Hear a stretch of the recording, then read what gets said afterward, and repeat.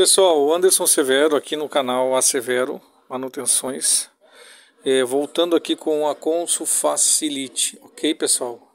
Vídeo parte 2. Uh, desmontei a máquina, removi o painel, certo? Como eu tinha falado para vocês no primeiro vídeo.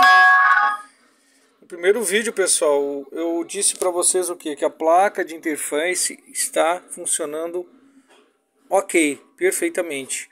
Placa de potência, pessoal, vamos ver ali, ó. Ó. Tá? Para ver que saiu até um até preteou ali, ó, componente. Essa placa, pessoal, ela está bem já.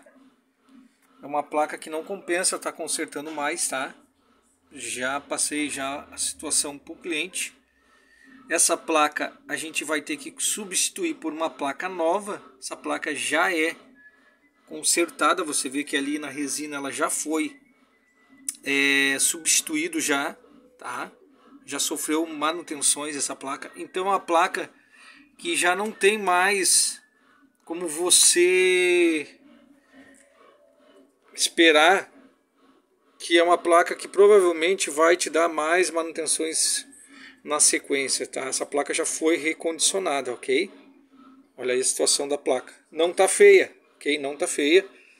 Não é isso, tá? Quem sabe que eu tô falando aqui eh, vai entender que é uma placa aí que você vê que tem bastante pontos de corrosão, bastante pontos que já está oxidação já está avançada, tá?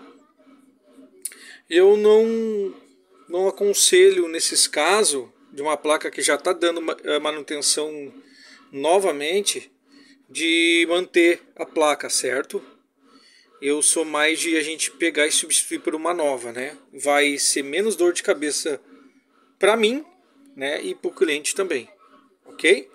Então, pessoal, problema já foi encontrado, placa de potência, vamos fazer a substituição, vamos comprar uma nova, tá? Colocar uma nova. A placa de interface está boa, vamos mantê-la, não tem por que trocar essa placa, essa placa está é original, certo? Ó, Cliptech, placa original dela, não precisa trocar. Tá? Vamos substituir apenas por essa aqui, essa placa de potência que está com o defeito.